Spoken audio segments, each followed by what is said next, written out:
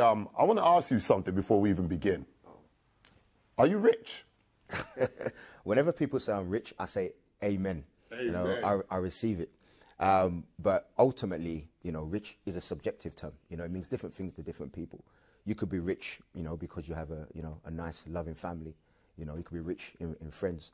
Um, but of course, you know, you mean it in a monetary sense. And you never ever really feel rich